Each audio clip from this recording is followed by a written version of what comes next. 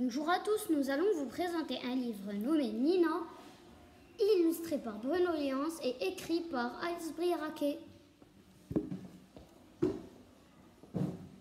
Les deux personnages principaux sont Nina et Lisa. Nina est une grande dame du jazz, elle adore le piano, c'est une grande pianiste. Il y a aussi sa fille Lisa. On ne parle pas beaucoup d'elle dans l'histoire. C'est vraiment dommage. Le résumé de l'histoire. Un jour, Lisa, sa fille, ne trouve pas le sommeil. Alors Nina lui raconte une histoire, son histoire.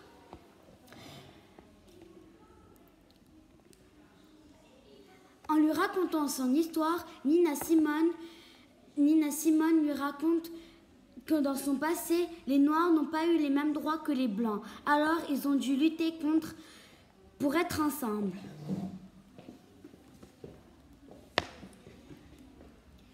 Que fais-tu là? Je joue du piano. Et c'est quoi le piano? Eh bien, le piano, c'est un instrument à cordes. Mais comme tu le vois sur le livre, il n'y a que des touches noires et des touches blanches. Mais ne t'en fais pas, il n'y a pas que du vide dans le piano. Dans le piano, il y a des marteaux et des cordes.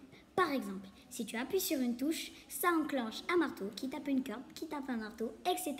Et au final, ça fait un joli son. Connais-tu des grands pianistes? Oui, il y, a, il y en a plein dans le monde entier. Il y a par exemple Mozart, Beethoven ou même Nina Simone. Combien de temps faut-il pour maîtriser euh, le piano? Eh bien, pour maîtriser un, un, un morceau de Beethoven, il faut au moins 5 ou 6 ans de travail. Quoi? Mais c'est énorme Eh oui, le piano, c'est le deuxième instrument le plus difficile au monde. Waouh, je ne savais pas. Merci beaucoup. De rien. Bonjour Farah. Bonjour. As-tu aimé le livre, le livre Nina? Oui, il m'a beaucoup plu. Et vous aussi, j'espère qu'il va vous plaire car il est très intéressant. Merci.